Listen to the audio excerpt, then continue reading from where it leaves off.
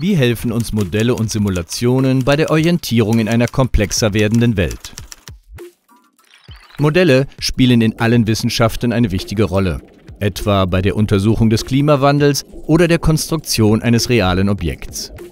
Modelle helfen, den Überblick über komplexe Strukturen zu gewinnen.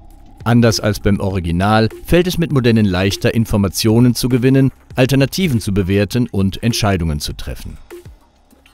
Auch Simulationen liegen bestimmte Modelle zugrunde, die versuchen, das Systemverhalten möglichst realitätsgetreu zu beschreiben. Dazu werden Modellparameter manipuliert und die Auswirkungen dieser Manipulationen beobachtet.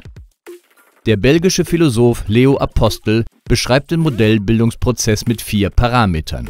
Das Subjekt entwirft für einen Zweck zu einem Original ein Modell. Es gibt eine Vielzahl von Möglichkeiten, Systeme zu modellieren, um spezifische Aspekte hervorzuheben. Statische Modelle betonen die statischen Aspekte, etwa Entfernungen oder Beziehungen, während dynamische Modelle die Dynamik des Systems abbilden. Der deutsche Philosoph Herbert Stachowiak hat bestimmte Merkmale identifiziert, die Modelle aufweisen. Das Abbildungsmerkmal. Dieses Modell bildet das originale Nürnberger U-Bahn-Netz ab, das Verkürzungsmerkmal. Gegenüber dem Original vernachlässigt das Modell einige Dinge.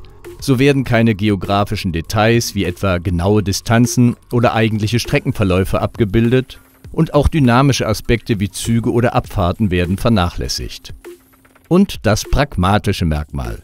Das Modell wurde zu dem Zweck geschaffen, den Fahrgästen Linienverläufe und Umsteigepunkte darzustellen, um ihnen damit die Orientierung im U-Bahn-Netz zu erleichtern.